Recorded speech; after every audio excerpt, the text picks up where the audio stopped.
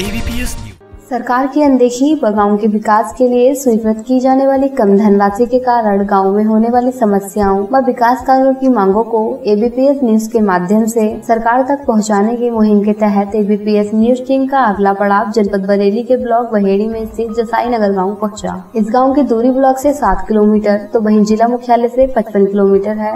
लगभग 2500 की आबादी व 1800 वोटरों द्वारा जगदीश सरन को अपना ग्राम प्रधान चुनकर गाँव के विकास की ज़िम्मेदारी सौंपी है। वर्तमान समय में गाँव में चार सौ पैंसठ राशन कार्ड धारक हैं। गाँव में शिक्षा के स्तर की बात करें तो प्राइमरी पाठशाला में लगभग एक सौ बावन बच्चे शिक्षा ग्रहण करने आ रहे हैं। गाँव में विकास कार्यो की बात करें तो पेयजल आपूर्ति व्यवस्था दुरुस्त करने के लिए अट्ठाईस हैंडपंप लगे हुए हैं, जिनमें से तीन हैंडपंपों को वर्तमान प्रधान द्वारा रिवॉल्व कराया गया है। वहीं विद्युत व्यवस्था दुरुस्त करने के लिए गाँव में 180 विद्युत पोल, पाँच विद्युत ट्रांसफार्मर एवं 55 स्ट्रीट लाइट भी लगी हुई हैं। वर्तमान प्रधान द्वारा गाँव में सीसी टाइल्स रोड खड़ंजे व पानी निकासी के लिए नाली का निर्माण भी कराया गया है। तथा वर्तमान प्रधान की देखरेख में स्वच्छ भारत मिशन के तहत पिछहत्तर इज़्ज़त घरों व प्रधानमंत्री आवास योजना के तहत दो आवासों का भी गाँव में निर्माण कराया गया है। एबीपीएस न्यूज़ टीम ऐसी बात करते हुए ग्राम प्रधान ने गाँव में पानी निकासी के लिए नाला सीसी टाइल्स रोड खड़ंजे, पंचायत घर, स्वास्थ्य केंद्र, बारात घर, पशु चिकित्सालय, शमशान घाट आंगनबाड़ी केंद्र प्रधानमंत्री आवास योजना के तहत चालीस आवास व स्वच्छ भारत मिशन के तहत 140 इज़्ज़त घरों के निर्माण की मांग राज्य व केंद्र सरकार से की है। जगदीश सरन एडवोकेट ग्राम प्रधान जसाई नगर न्याय पंचायत बिशनपुर गुलड़िया, ब्लाक बहेड़ी, जिला बरेली का हूँ मैंने अपने गाँव में जब से 2015 से प्रधान बना हूँ तब से एक खरंजा, तीन खरंजे, एक सीसी 600 मीटर नाली, दो शौचालय, गाँव में स्वच्छ अभियान, स्वच्छ भारत अभियान के लिए शौचालय बने हैं।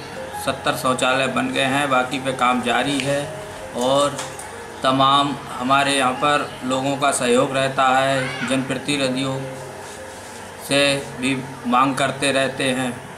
इसलिए गाँव में जितनी भी स्वच्छता है, वो सभी लोगों की मदद से होती है। मैं आगे भी प्रयास करता हूँ कि जब भी जितनी भी स्वच्छता के लिए अपने गाँव में हो, हमारा गाँव स्वच्छ रहे।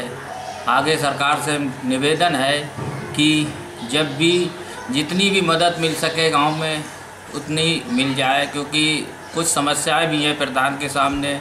जैसे पुलिस की समस्या है, डॉक्टरों की समस्या है और भी तमाम समस्याएँ हैं, कहीं पर प्रधान जाता है, उसकी सुनी ही कम जाती है। हमारी एक संस्था भी चल रही है जो अखिल भारतीय प्रधान संगठन, जिसके हमारे माननीय जितेंद्र चौधरी जी हैं, उनके सहयोग से हम लोगों की समस्याओं को समाधान किया जाता है, काफ़ी प्रयास भी किया जाता है और आगे भी करते रहते हैं। हम सरकार से मांग करते हैं कि हमारे यहाँ पर पंचायत घर, जो कि जर्जर हालत में है, उसका ज़ीरो द्वार कराया जाए और हम मांग करते हैं कि हमारे यहाँ पर एक सरकारी अस्पताल की सुविधा हो जाए। काफ़ी बड़ा खेल का मैदान पड़ा है। यहाँ पर एक खेल के लिए मिनी स्पोर्ट स्टेडियम भी की मांग करते हैं। गाँव में स्कूल की बाउंड्री है। गाँव में दो शौचालय तो बन गए हैं, लेकिन स्कूल की बाउंड्री है। तीन स्कूल है, उनकी बाउंड्री नहीं है। इसलिए सरकार से धन के लिए मांग करते हैं। कुछ खामियाँ आ गई हैं जब हमारी जो पंचायत एक्ट है, उसके अंतर्गत हम लोगों के अधिकार कुछ छीन लिए गए हैं, जिसकी वजह से प्रधानों को बहुत ही ज़्यादा परेशानी का सामना करना पड़ता है।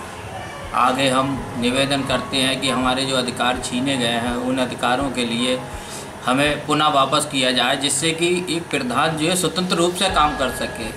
क्योंकि प्रधान एक प्रतिनिधि होता है उसके लिए पूरे 24 घंटे काम करना पड़ता है। सरकार से निवेदन है कि जो सरकार पैंतीस सौ रुपये मानदेय दे रही है उसके लिए बढ़ाया जाए क्योंकि प्रधान के पास कम से कम दस हज़ार रुपये का मानदेय होना चाहिए।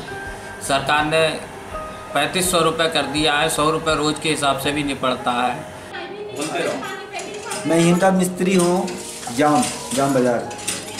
बढ़िया काम एरिया है शौचालय भी बन रहे हैं और सीसी रोड भी बनी है, वो भी बढ़िया और नाला भी बनने आए वो भी बढ़िया बनने आए सब तारीफ़ ही कर रहे हैं, पूरा गाँव तारीफ़ ही कर रहा है।